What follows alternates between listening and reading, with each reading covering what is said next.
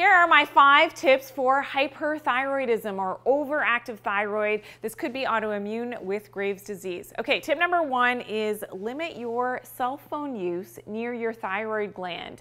This goes for those Bluetooth headphones as well in your ears.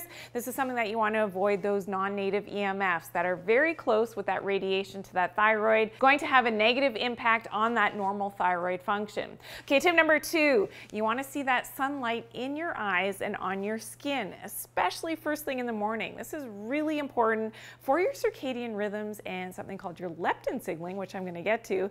This is really important to set up your proper circadian rhythms in line and in tune with nature every single day. This is going to help to regulate your thyroid function, but also your sleep and your melatonin for later at night when you're sleeping.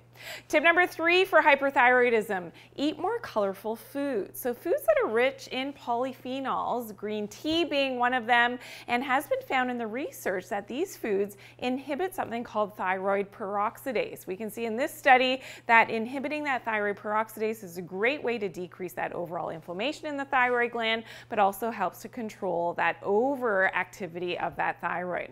Number four, selenium. Some people say selenium. So you want to increase your intake. This is a very important mineral to help to run and balance out that proper thyroid function.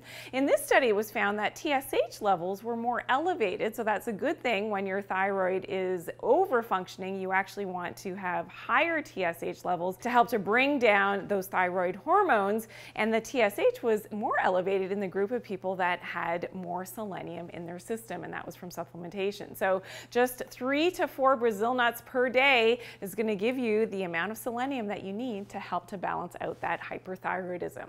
And tip number five, I promised I would talk about that leptin resistance. So you want to fix your hormonal signaling. You want to fix that leptin signaling. This is really important for overall health and energy levels, but very important for that hyperthyroidism as well to fix that leptin resistance. Now for tips on how to fix your leptin resistance, check out my video, five tips to fix leptin resistance. I'll see you there.